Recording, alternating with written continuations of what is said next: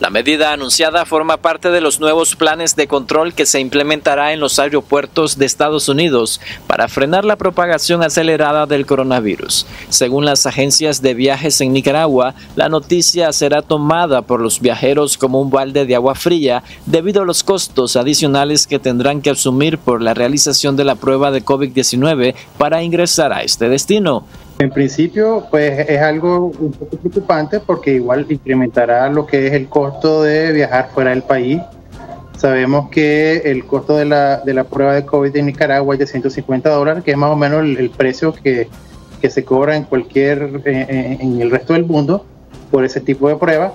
Eh, entonces ahora, adicional al, al, costo de los boletos que, que están altos por, por la falta de oferta de líneas aéreas, hay que sumar los 150 dólares por pasajero para eh, poder ingresar a Estados Unidos, que es uno de los, de los destinos, de los pocos destinos a los que se puede viajar. Básicamente, pues la noticia no es muy buena en términos de comerciales, en términos de salud, pues sí es buena, pero obviamente esto viene a incrementar los costos de viajar en 150 dólares, pues, eh, y si la persona va y viene, pues tiene que pagar la prueba de ida y pagar la prueba de vuelta, pues que anda en Nicaragua 150 dólares y en Estados Unidos eh, variable, anda desde 75 hasta 200 dólares, pues, ¿verdad?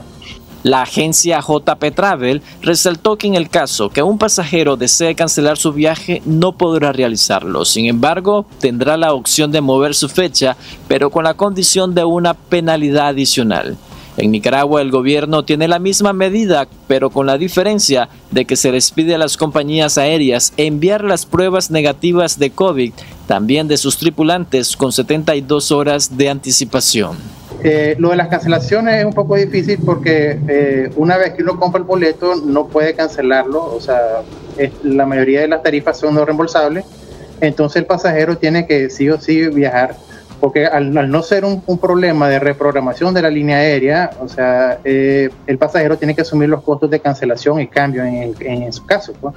En este caso, la mayoría de los boletos lo que, permite, lo que permitirán en algunas tarifas es realizar un, cambio de fecha, pero eso más bien incurriría un costo adicional al pasajero porque tendría que pagar la penalidad y una posible diferencia de tarifa adicional a la prueba de COVID pues la gente no está cancelando su viaje, ¿verdad? La gente se va a hacer la prueba y va a tener un gasto más, eh, simplemente pues como parte del viaje. Esperamos obviamente que pueda haber una, un decremento en la demanda de los viajes, pero eso lo vamos a ir midiendo pues a medida que pasan las semanas pues.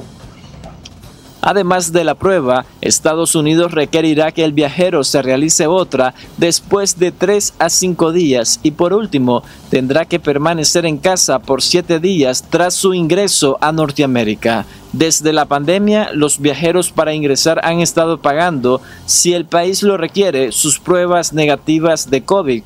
En el caso de Nicaragua, las autoridades del Ministerio de Salud realizan la prueba a un valor de 150 dólares. Jimmy Romero, Voz TV.